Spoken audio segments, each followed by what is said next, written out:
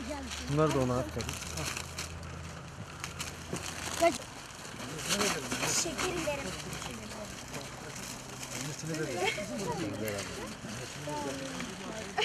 Yalnız bu ben takayamam ki. Ha, onları da verelim.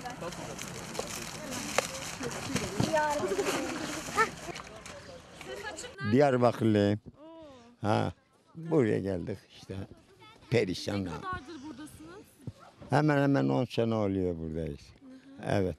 Nasıl geçiniyorsunuz? Ne yapıyorsunuz? Vallahi geçinmemiz Geçinme denirse. şey kağıt toplayıp ona geçiniyoruz. Başka. Çoluk çocuk. Çoluk çocuk Kaç çok. kişisiniz? Biz çok. Geniş aile. Evet. Çok adam benim Devletten çocuklar. bir destek görmüyor musunuz? Devlet yalnız bize kömür veriyor. Bir de seneden seneye bir yiyecek veriyor. Başka bir şey yok.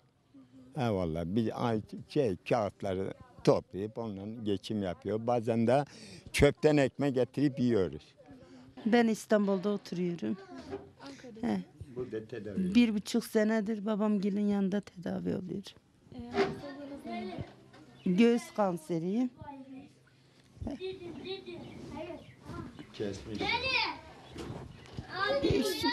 Aldılar. Şimdi ciğerlerime sıçradı. Tedaviniz nasıl ilerliyor? Doktorlar ne diyor? Ya doktorlar işini aldı daha kötü etti. E, Tedaviniz Ankara'da mı oluyor? Evet onkolojide. Demet evlerde. E, yani tedavi bir cevap vermiyor mu? Yok. Neden peki doktorlar ne diyorlar? Ya hiçbir şey de demiyorlar. Bir gelişme de yok yani. Bizim gibisine yardım etsinler. Bak ne haldeyiz, ne durumdayız. Bazen yol parası buluyoruz, bazen bulamıyoruz.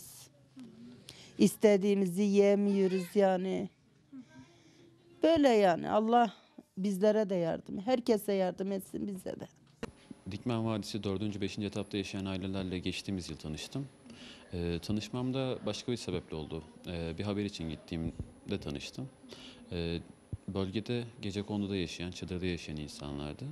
Haberden sonra e, hem seslerini duyurmak hem de e, bir fotoğraf çalışım, çalışması yapmak adına, seslerini duyurmak adına e, bir çalışma yaptım. Aileyle yaklaşık iki hafta boyunca vakit geçirdim. Evlerine gittim, çadırlarında kaldım. Bu süreç içerisinde samimi olduktan sonra bana olan güvenleri de arttığı için daha rahat çalışabildim. Hem de daha rahat seslerini duyurabildim. Ee, ailelerin durumu e, ne yazık ki kötü. Ee, çocuklar e, kış vaktinde e, çıplak ayakla dolaşıyorlar, yazlı kıyafetlerle dolaşıyorlar. Ayrıca hani aileler yakacak kömür dahi bulamıyor.